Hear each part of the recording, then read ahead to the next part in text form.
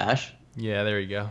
Okay. Oh, hello, hello. Sorry about that. I don't know, something happened with my network at home.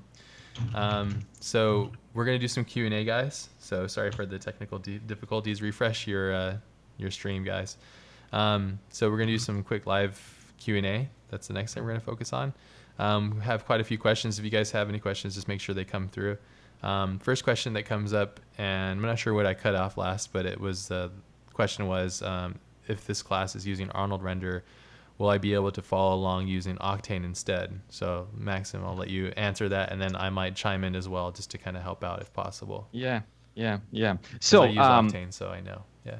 Yeah. Okay. Okay. So uh, for me, uh, uh, so w- when I started to develop uh, with Ash and Maciej uh, this course, I suppose one of the main, you know, ideas was to create something without this, you know, str- um, you know, some kind of straight linkage to some kind of software. Uh, and uh, when I describe concepts of uh, modeling, of you know some kind of extruding things, beveling, and um, playing with points. You know, this is some kind of universal concepts of computer science and 3D graphics. At you know, in in general, yeah, uh, I, I'm covering some um, you know elements, um, how to use it in Cinema 4D because I am using Cinema 4D, and that's why I'm showing you how to create it.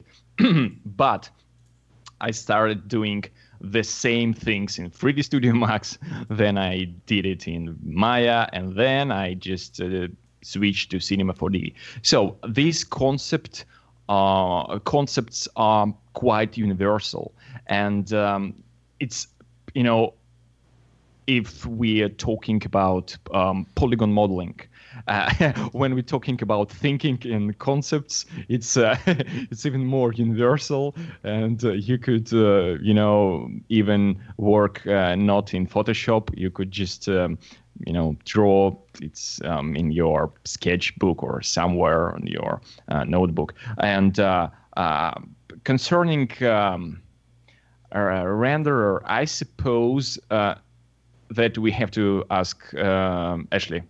Yeah, I mean, yeah. well, I mean, for me, when I look at what you're doing, um, yeah, you can achieve the exact same thing. If you, if you, so if you're asking about the question of, can I use this if I'm using Octane? Uh, absolutely. Why wouldn't you be able to?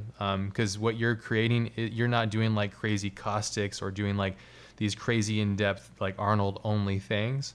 You're basically using simple lighting, great lighting, it's directional and everything like that, but it's not that intense on the the from what I can see, it's not like if you don't have Arnold, you're not able to take this class. If you have Octane, I think you're already ahead of the curve because your Octane's really fast. It responds very similarly and it works very similarly from what I can see. Octane is very different, obviously, in, in regards to the interface and stuff. But if you are interested in this and you don't want to be hindered by you know a render or not having Arnold, I think that you can achieve the same kind of things um, using Octane and it's similar to like how I've taken Grant Warwick's classes and stuff, and he explains stuff via V-Ray, and it, it's it's it, you can apply it in different ways because it's mostly about like seeing things and understanding how things are seen. It's not about the buttons being pushed necessarily, but more about the thing, the way that things are seen.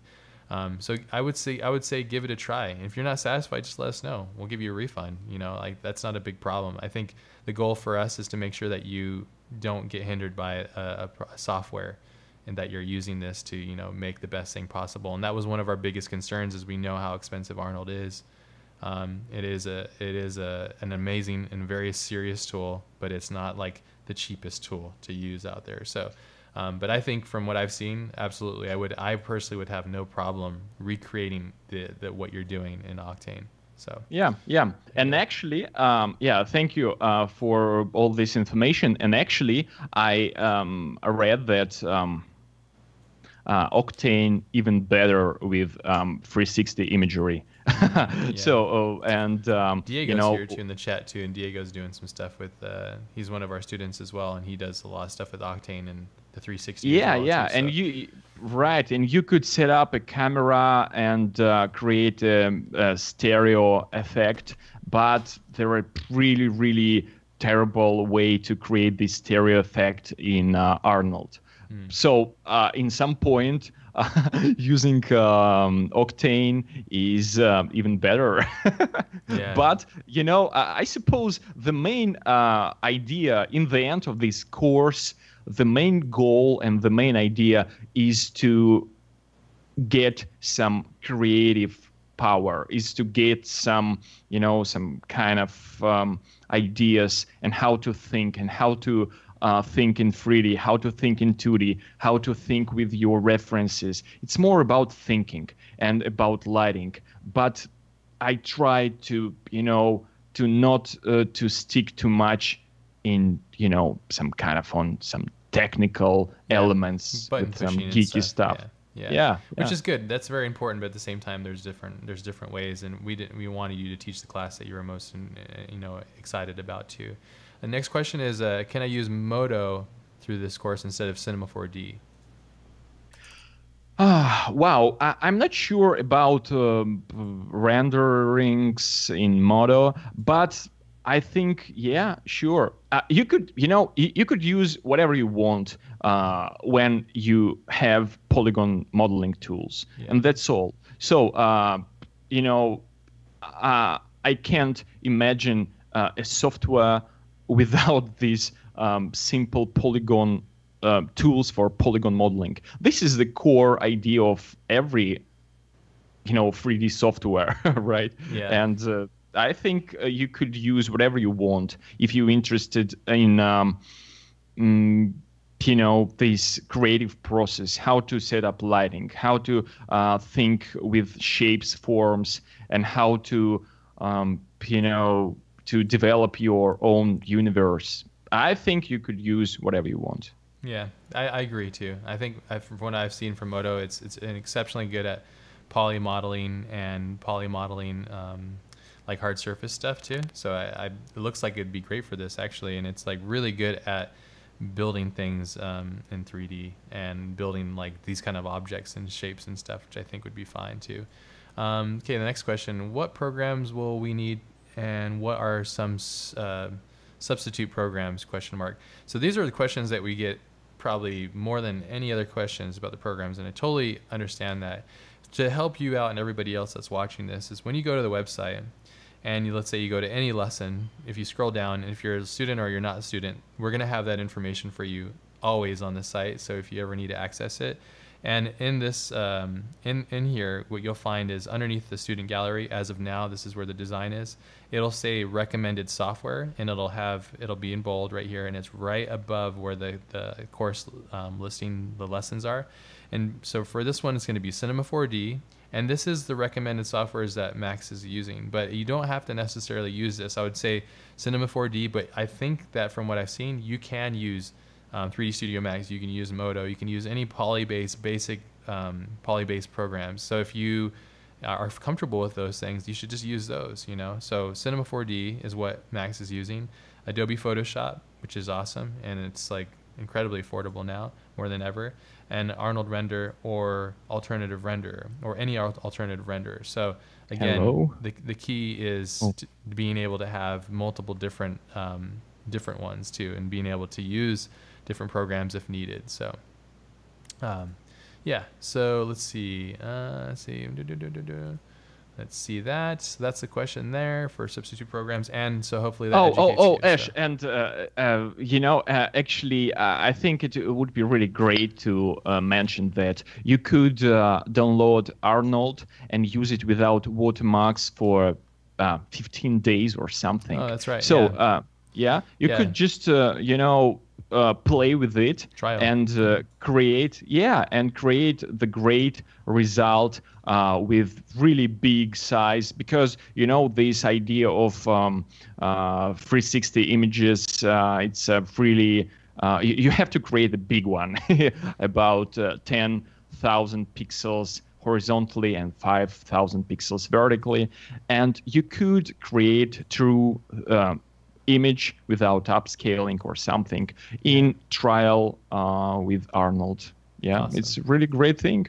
Yeah, and that's so that's a great thing. You get a 15 day free trial with Arnold. So if you're curious and want to try it out, and this is the course you want to try it out in, there you go. It's it's free for you to use for 15 days. You can try it out.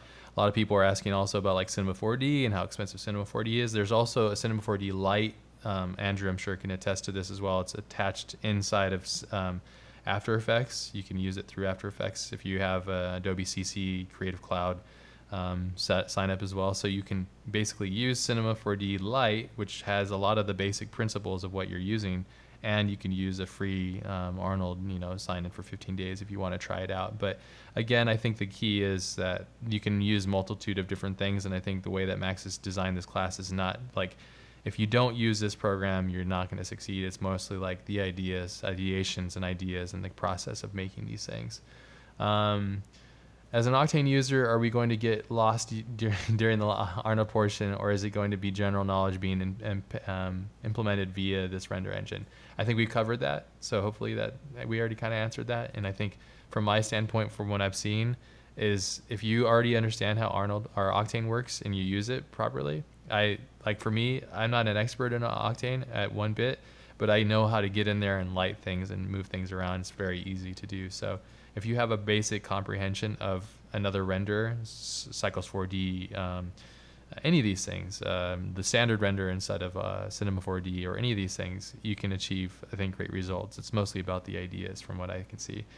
Um, question, how do you guys compare the importance of storytelling to actually look of things that you're designing?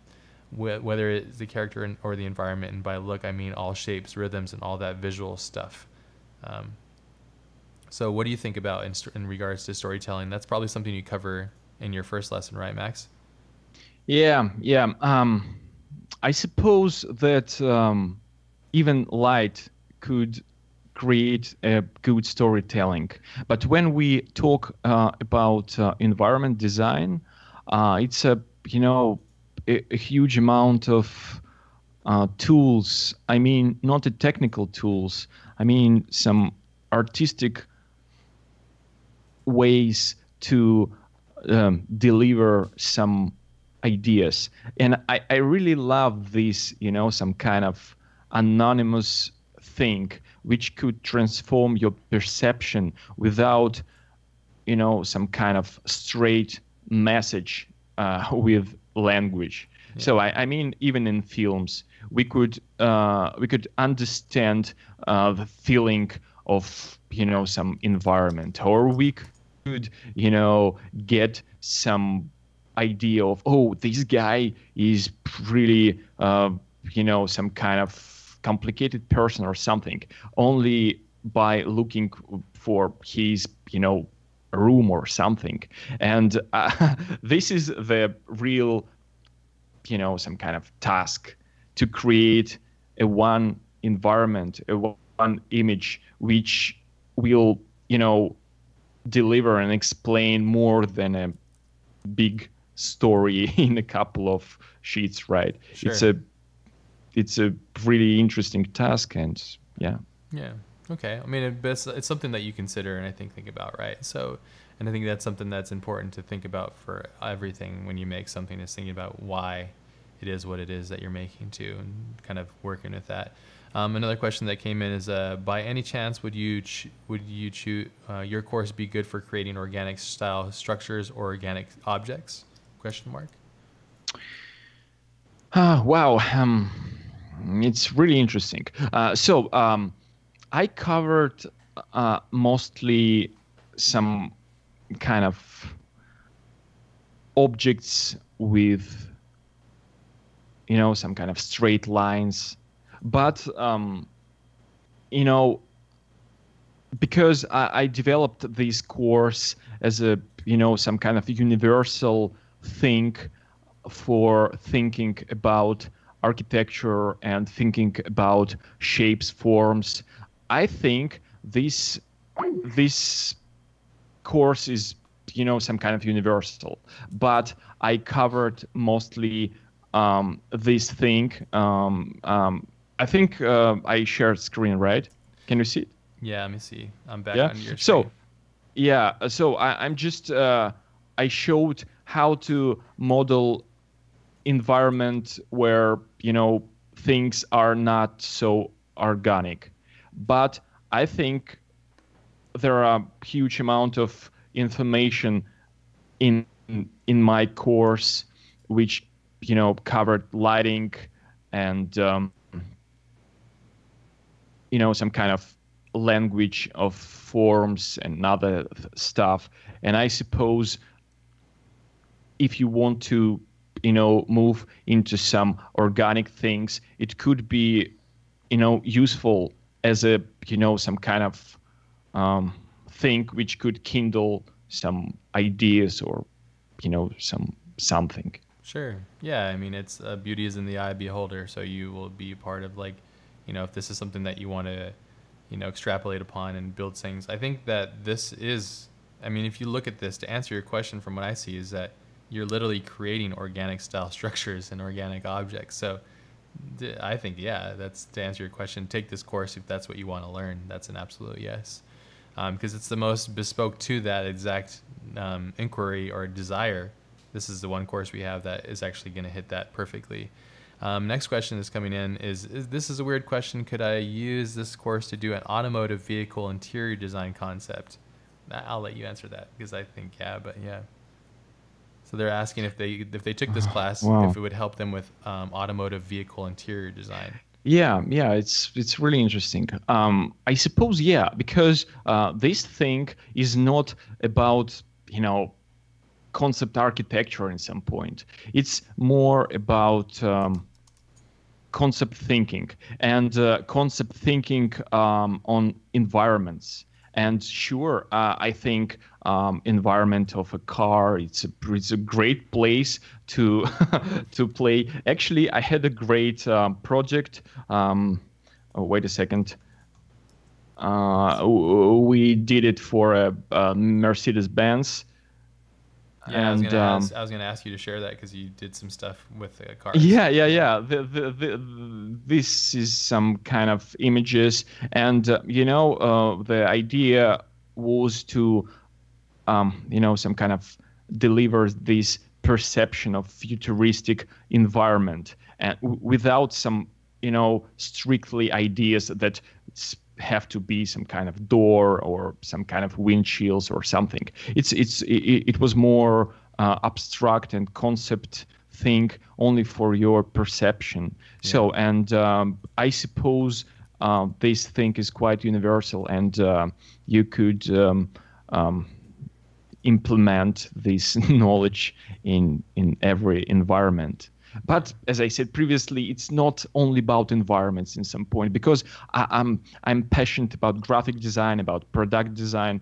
product design, and all this uh, jazz. And I wanted to, you know, combine all these um, visual mediums in one course, which could, you know, be some kind of universal thing in some point. Yeah, I think it's a universal thing that you're teaching, which is that's the core of it. So like, I think that there's specifics, but it's also there's there's also you know a, um, an overall arching piece of information you know that for everything. So I think for for the person that's asking that exact question, I think yeah, absolutely. He's showing you how he understands how to create abstract forms and actually you know create things based on design and it's like you mentioned it's like it's about opening up the idea of dialogue within yourself in, re- in regards to design and how how great that comes out because you can make so many different infinite amount of possibilities which i think, think is really great too. And then using it imagine so like for the car design for example so let's say like you have the basics of the car but then you want to create a design that for the, for the passenger to sit, sit with and you can make a three-dimensional version of sitting in that car and give that to your um, your your employer. And how cool is that you know? Like that, yeah that's that it doesn't get better than that really. I guess the only thing that gets better than that is like sitting in the car moving you know in that experience you know. Um, next question is topology is really a trouble for me in, in polygon modeling. Hey i totally hear you there. That's like i feel that i feel your pain. Uh, will you think about topology when you go do uh, polygon modeling? So do you think about topology when you do polygon modeling in this course? And you kind of touch on that stuff or no Ah, wow. Um, actually, topology is really a huge pain when you're doing really, really hard um, and complex things. Yeah. I tried, you know, um, I'm trying to explain some kind of tricks and things which I found uh, through the years of doing polygon modeling is to, uh, you know, some kind of um, create a really, really deep hierarchy and um, uh, hide huge amount of objects and work with small different objects uh, with quite simple topology. Because um, you know sometimes you could um, you know dive uh, too deep and start doing one shape and uh, create the huge uh, amount of different details on uh, one shape and you could become you know uh, or, or, overwhelmed with amount of different details. So it's it's not a good thing. And talking about topology yeah, maybe um, in this course I tried not to, you know, not to dive too deep uh, into polygon hardcore polygon modeling. Yeah. you know what I mean. But your topology I, isn't that horrible. I mean, it's it's. I mean, it's not that bad. so I've seen way yeah. worse, especially from me. So and people are talking about like um, you're asking about like UV mapping and all that stuff. You didn't get into that stuff, right? Yeah. No. So actually, actually, I covered it in my course. Well, there you go. So yeah, yeah. but um, you know, guys, um, in this um, stage of concept thinking, uh, it, it, could be really painful to you know to dive into UV mapping in it. Cinema 4D. yeah, don't do it, please. yeah. So and I'll show you guys on another stream. I'll show you how I use 3D coat and stuff. We're gonna have some guests on coming up pretty soon that it yeah, will help where with that. So just, just use these streams to help yeah. you, you know, bridge that gap because, yeah, it becomes so cumbersome and such a pain in the butt. So yeah. Yeah, yeah, totally. And uh, in this uh, course, I covered um, my favorite thing for circles. UV mapping for circles, for sure.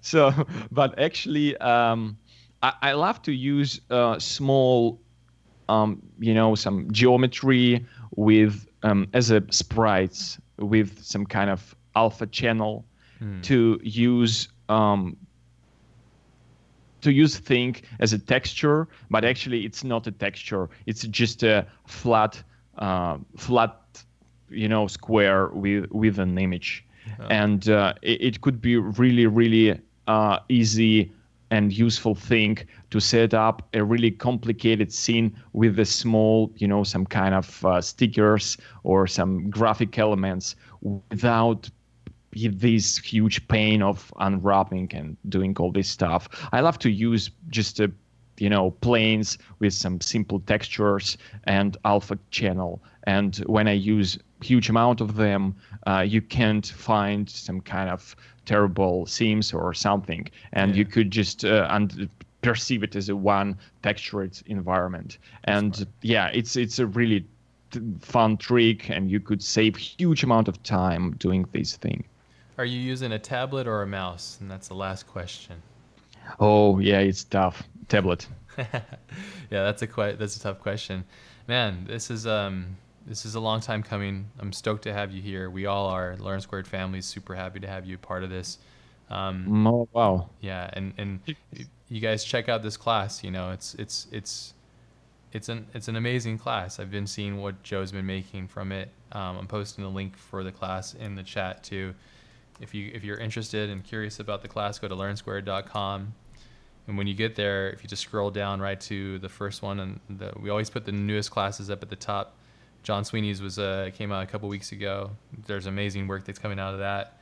And our goal here is to bring you the best talent, you know, our friends, people that we work with, people that we're familiar with, people that we know are the best at what they do, and for them to come and share this knowledge with you. There's never been a better time, in my opinion, to ever learn how to be an artist than now, because we have access to all these amazing people who are willing to share this information and knowledge with, with us all. So if you're interested in learning this and getting better and more understanding of how like Maxim makes his work and also seeing Joe's um, journey and seeing the rest of the student base and how they think about lighting and, and shape language and design and story and, and, and putting that together and fusing that into like an experience of a three dimensional 3D experience. It's it's all here. So um, there you go. I don't know what else to say. I'm not going to hard sell something that's amazing. It's amazing. So you guys, either you want to learn something awesome or you don't. It's pretty much your choice, you know. So, um, Max, is there anything else that you wanted to mention before we head off?